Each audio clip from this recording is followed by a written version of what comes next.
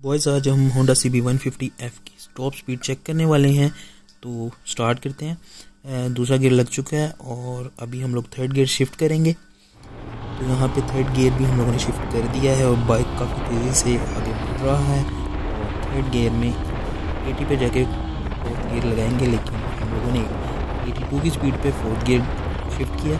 तो बाइक इस time hundred पर चला गया है। फोर्थ गियर के अंदर और हंड्रेड पे जाके फिफ्थ गियर यहाँ पे हम लोग शिफ्ट करवाएँगे।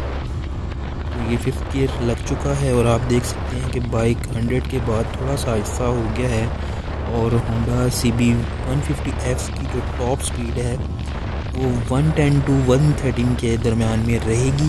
तो ये है Honda C B one fifty F की टॉप स्पीड कैसी लगी आपको वीडियो, चैनल को ज़रूर सब्सक्राइब कीजिएगा मोटो ट्रेंड डॉट